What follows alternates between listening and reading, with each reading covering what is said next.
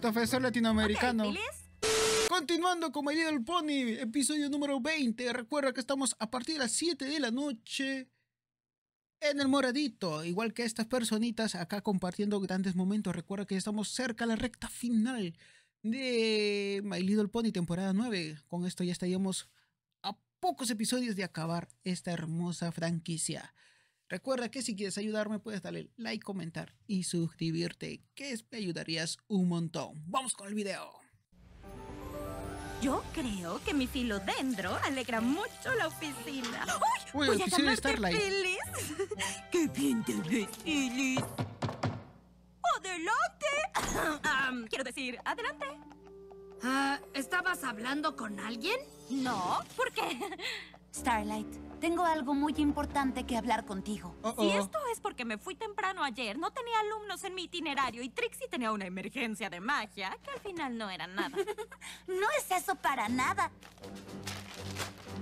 Chamba, chamba. Twilight Sparkle, la princesa de la amistad, en vista de su inminente ascenso al trono de Equestria y como prevención de sus muchos deberes y responsabilidades futuras, ahora pretende hacer honor a la oferta previa que le hizo a Starlight Glimmer de reemplazarla como directora de la escuela de amistad. Un ascenso. Te quiero a cargo de la escuela cuando me mude a Canterlot. Ya sé, es algo tan impactante. Estoy algo... ¿De verdad me crees capaz? Claro que sí. Te reemplacé siempre que ibas a salvar Ecuestria, pero... Digo, sí, con gusto. ¡Gracias! Ah. No se me ocurre otro pony que sea mejor para el puesto. Estoy nerviosa y emocionada. Sobre todo nerviosa. Y lo entiendo. Tendré muchas responsabilidades importantes como monarca de Ecuestria, pero siempre estaré dispuesta a ayudar cuando tú lo necesites. ¿No tendrías que estar en una lección de etiqueta con Celestia y Luna ahora? Cierto. Ah, no subestimemos la gran responsabilidad de la colocación de servilletas reales. Digo, ah, no es tanto, ¿verdad, Feliz? Yo puedo con esto. ¡Feliz! Un minuto de silencio. Phyllis apareció en este episodio y ya murió también. La pony ideal. Sabes que me enorgullece que te ofrecieran espera. form- Espérate. No me digan que Starlight, ahora que va a ser directora, Trixie la van a meter al trabajo. ¿Te imaginas? No, ese sería nepotismo, ¿ve, no? Normalmente el puesto de directora. Gracias. Pero no dejo de preguntarme si va a afectar nuestro itinerario social. ¿A qué te refieres? Como ahora, por ejemplo, en vez de asistir a la encantadora comida que planeé, nos dirigimos con determinación hacia lo que yo supongo es la oficina de Twilight. Obviamente la comida es súper importante, pero también lo es dirigir la escuela. Y la única pony que ha dirigido la escuela de amistad es la princesa de la amistad. Me preocupa hacerlo todo yo sola y quiero obtener todo el consejo de Twilight que pueda mientras siga aquí. Pero Twilight nunca hizo nada sola realmente. Tenía a sus amigas. Eso me da una Buen idea. punto. Gracias, Trixie. Das muy buenos consejos involuntarios. Ah, gracias. ¿Aún iremos a comer?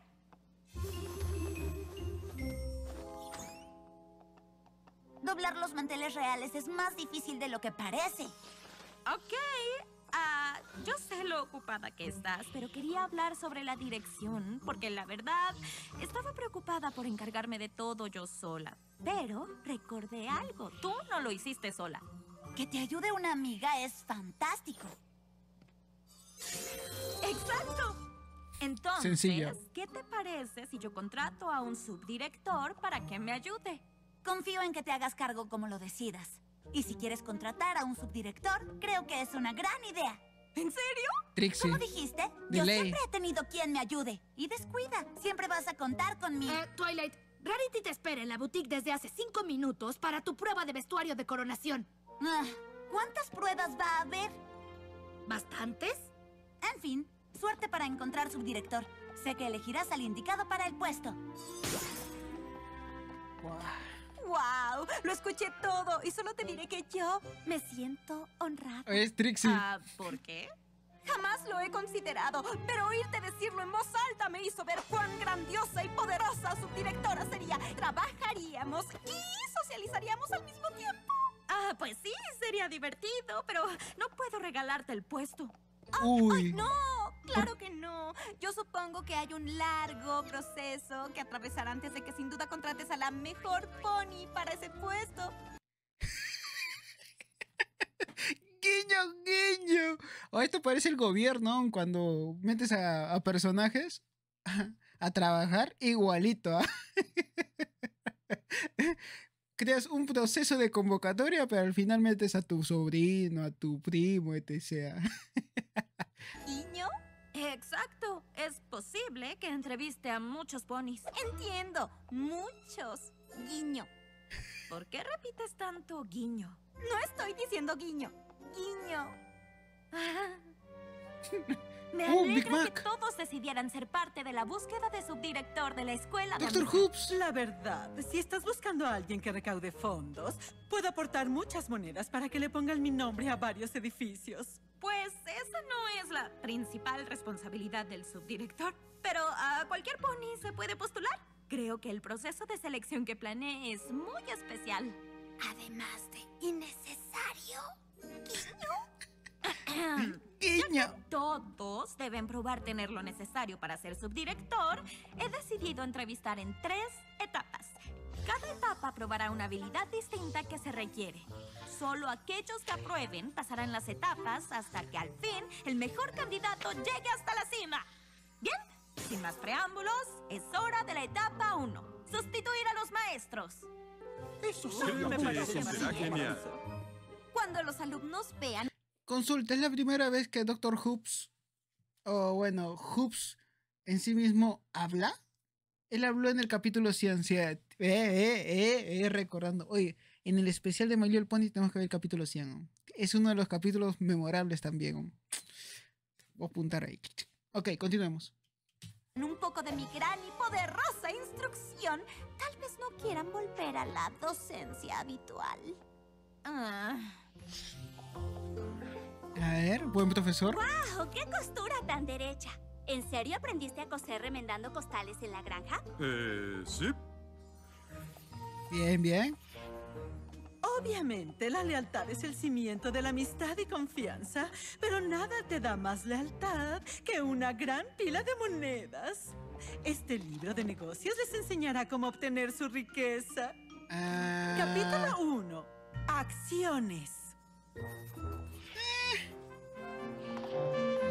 Música, bien, Octavia.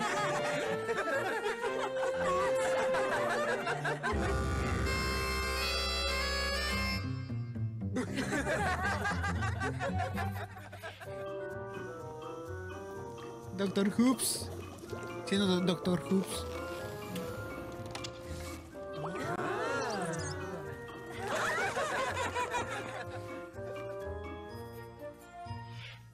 Era preecuestrense, año 1322, Abraxius el Fuerte hizo... Así era mi profesor.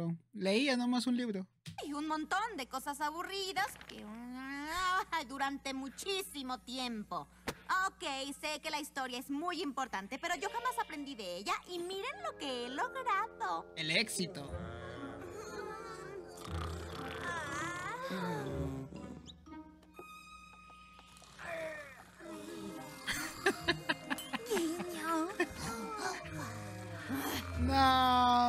Profesor latinoamericano. Ok, ¿Feliz? Obviamente ellos tres avanzarán. Pero ¿qué hay del resto?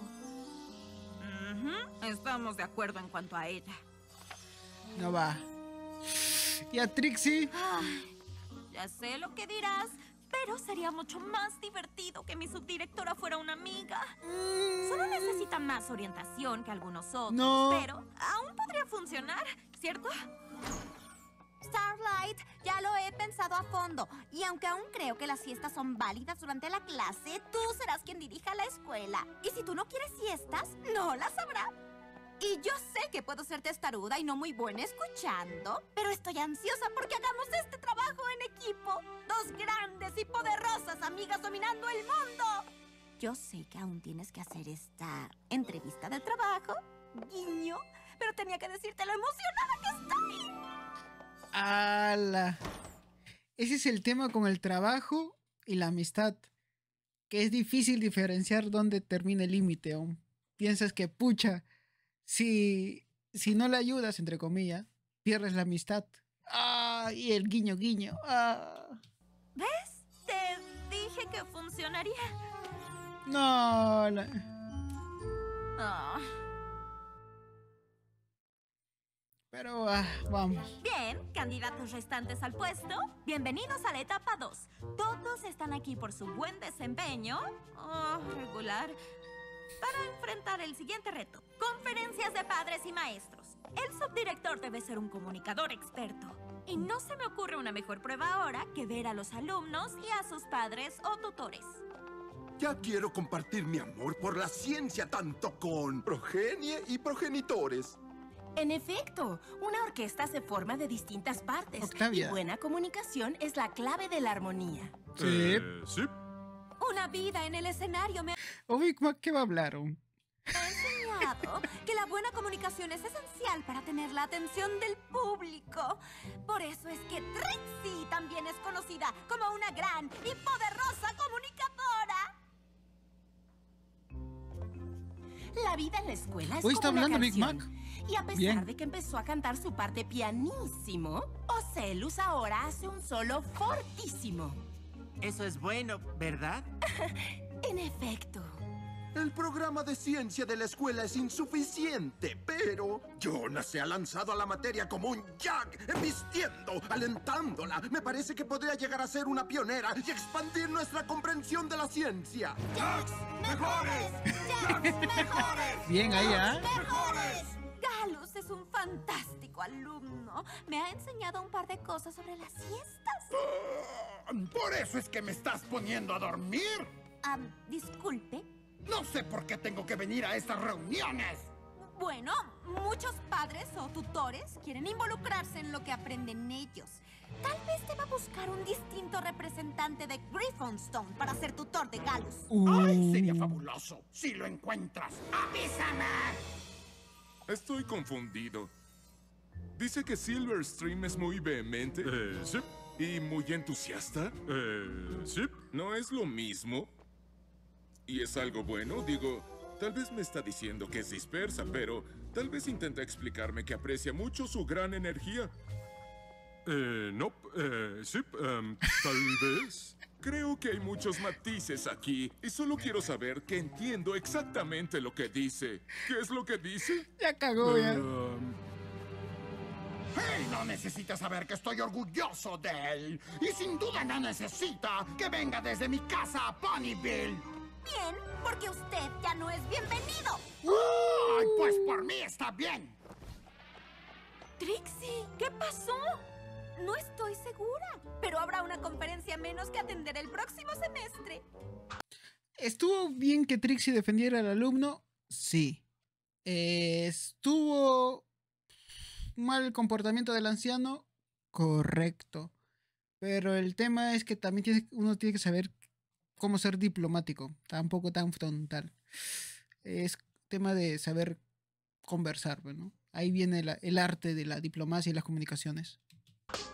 Big Mac, monosilábico, como siempre. Realmente aprecio tu honestidad, Big Mac. Y es verdad, los padres esperan mucha comunicación tratándose de sus hijos. Y si no estás cómodo con eso, la subdirección tal vez no sea correcta para ti. sí, no. Pi, pi, pi. Ya sé por qué quieres verme y no tienes que preocuparte. Ah, ¿bien? Qué linda que querías ver cómo estoy después de mi fuerte confrontación con el abuelo Gruff. No te angusties, voy a recuperarme. Trixie, eso no es realmente de lo que te quería hablar. No puedes discutir a gritos con los padres ni tutores.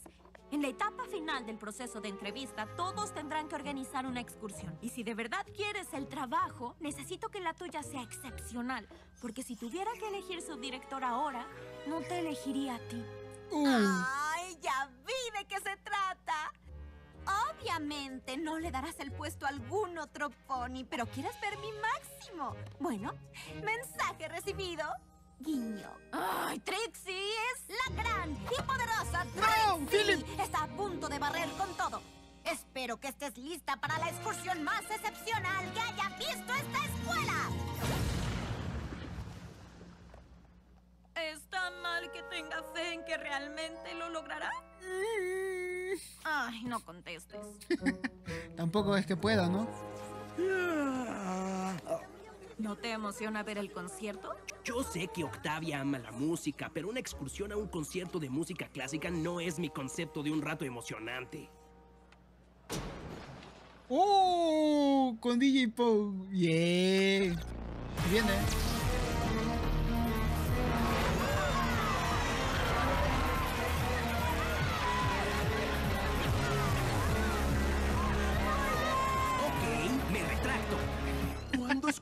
que haríamos excursiones, supe de inmediato que debía traerlos a mi laboratorio. No hay una mejor excursión que una por el campo cuántico. Me refiero a viajar por el tiempo. ¿Qué? He trabajado en un artefacto de transporte en el tiempo. ¿Doctor Who? ¿Ah? Una silla. Y tres, cuatro, cinco. ¡Felicidades! Ahora estás cinco segundos en el futuro. Verás, Ta madre, yo emocionó pensando que iba a haber viajes en el tiempo. Ta madre. Ah, ah, ah, esperaba demasiado. todos somos realmente viajeros en el tiempo. ¿Mm? ¿Quién sigue? ¿Y ahora qué? Realmente no planeé mucho más que esto. No, lo van a bajar. Bienvenidos a la más grande y poderosa excursión de toda su vida. ¿A dónde ir todos? Me entusiasma tu pregunta porque este día no haremos la clásica excursión aburrida y normal de viajar a algún lado. Entonces, ¿no excursión? Al contrario, fácilmente pude llevarlos al pantano Renacuajo, pero no tenemos que dejar la comodidad del salón para la excursión. Yo puedo traer la ¿Magia? excursión a nosotros.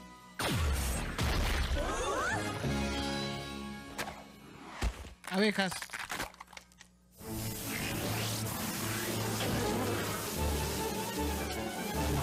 De las complicadas. ¿Qué es lo que has hecho? Bueno, hay la parte ideal del pantano para teletransportarlo aquí. Aunque no consideré la posibilidad de que una colmena de abejas flash podría estar ahí. A la miércoles, ese es un desastre aún.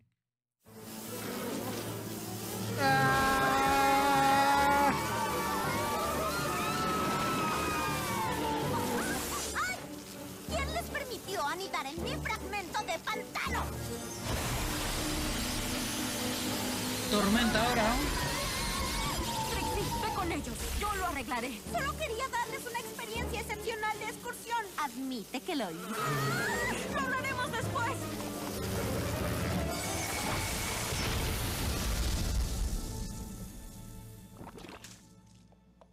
Um, Starlight. Hola. No, ¿Y, se va a enojar. ah. ¿Se fueron? Sí. Buen trabajo en equipo. Va a ¿no es verdad? ¿Es una broma? No sé en qué equipo estarás, pero no en el mío. Esto fue un desastre. Fue peligroso. Creo que las palabras que buscas son grande y poderoso. ¡Ni siquiera fue aceptable! Pasaste de no tomarlo en serio a llevar todo tan fuera de proporción que pusiste a todo el mundo en peligro. Y yo quería trabajar con mi amiga a tal punto que ignoré el hecho de que jamás servirías para el puesto. Estoy confundida. ¿Qué estás diciendo? Estoy diciendo que jamás serás subdirectora. Pero, pero creí que habías creado ese puesto para mí. ¿Por qué lo creíste? Solo creé ese puesto para que me ayuden. Pero no se me ocurre ninguna forma en la que tú podrías ayudarme. Las amigas de Twilight siempre la ayudan. Ah, es porque sus amigas son competentes, les importan las cosas que hacen y sí saben cómo hacerlas. Bueno, entonces no te quitaré más el tiempo, directora Starlight. Eso dolió, ¿ah? Pobre Trixie. Es entendible también. ¿Starlight? Yo solo venía a ver cómo iba la búsqueda de subdirector. Mucho mejor ahora. Ok. Realmente quería que fuera una amiga, así que terminé dejando de lado señales muy obvias de que no iba a funcionar. No todo el mundo es apto para cualquier puesto, pero todo el mundo tiene algo que ofrecer. El punto es averiguar qué. ¿Qué tal si tú y tu amiga no lo pueden averiguar? Si tienes alguna labor, debes decidir qué es lo mejor. y ser directa y franca, aunque signifique no trabajar con tu amiga en ello. Entonces, supongo que eso implica hablar con ella desde el principio, en vez de darle largas hasta sentirte tan frustrada que pierdes el control y dices muchas cosas horribles. Básicamente. Ah. Twilight dando consejos, ¿ah? Trixie, sé que estás ahí. Pues te equivocas. Perdón por todas las cosas que dije. Es que en serio quería que funcionara, a pesar de que sabía que no era probable. Debí decir algo antes. Obviamente no tendremos lo que queremos, porque soy pésima para todo y no podría ayudarte en nada. No eres pésima y tienes muchas grandes cualidades. Tal vez no cualidades de subdirectora, pero cualidades de gran y poderosa amiga. Bueno, realmente apoyas a los ponis que quieres. Galus dijo que ninguna criatura lo había defendido jamás como tú lo hiciste con el abuelo Groff. Habría sido lindo dirigir la escuela juntas, pero no todo el mundo es apto para cualquier puesto. Yo sé que tomas tus responsabilidades en serio y tal vez yo debí saber que no era realmente la pony ideal. Si te hace sentir mejor, nadie lo fue. ¿De qué hablas? Pues el Dr. Hoops decidió retomar sus experimentos y Octavia no quiere que la responsabilidad de ser subdirectora la aleje mucho de la música. Tal vez buscar un subdirector fue una mala idea. Starlight, es obvio que necesitas ayuda y contratar un subdirector es una gran idea. Pero, ¿quién podría ser? Bueno, Big necesitas a alguien Mac. que sea responsable como tú, enfocado al detalle como Twilight. Eh, inteligente, obviamente. Es una escuela, a fin de cuentas. Sería lindo que nos lleváramos bien, ya que tener una amiga no funcionó. Espérate, espérate. ¿Y qué tal el, el pata de que está en el Imperio de Cristal? Que no me acuerdo ahorita su nombre. Tal vez funcione. Y así Ah. supe en cuanto leí el mensaje de Trixie que era justo lo indicado para mí. Pero no eres el cristalizador de Flurry Heart. Eso, eso. Ah, la verdad, ahora que Flurry Heart ha crecido, ya no hay mucho que hacer para mí, aparte de alguna tradición o festival. Y, y trabajar en una escuela es lo que siempre supe que haría. Digo, si me aceptas. ¿Es una broma? ¡Estás contratado! Yo presentí que funcionaría. Ay, Trixie, gracias, de verdad. Entre ser perspicaz voluntariamente y dar buenos consejos involuntarios, supongo que puedo ser una buena amiga. Más que eso, de hecho. Realmente diste un buen consejo y me ayudaste a hablar del problema de hallar al indicado para el puesto. Y sabemos que quieres a los alumnos. Trixie, la gran y poderosa consejera, oyente de problemas y afectuosa con alumnos. Ah, creo que prefiero amiga. Amiga es perfecto.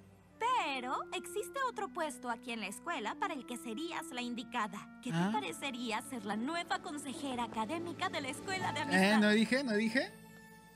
Diría que esta oficina necesita nueva decoración. Las macetas denotan. ¡No, desesperación. Philip! A Philip lo quieren matar a cada rato. El mejor personaje. Ojalá que te veamos en otro episodio, Philip. Lo veo más como una madre renegona. Como te dice. Eh, pucha, este, me voy a lanzar de un puente. Trixie te diría, lánzate pues. A ver, va- vas a ver cómo te va a doler. Algo así te diría. O sea, no diría, no, no te lances, eso te va a hacer daño. Porque Trixie es más eh, boca suelta en cierta forma, no la piensa mucho.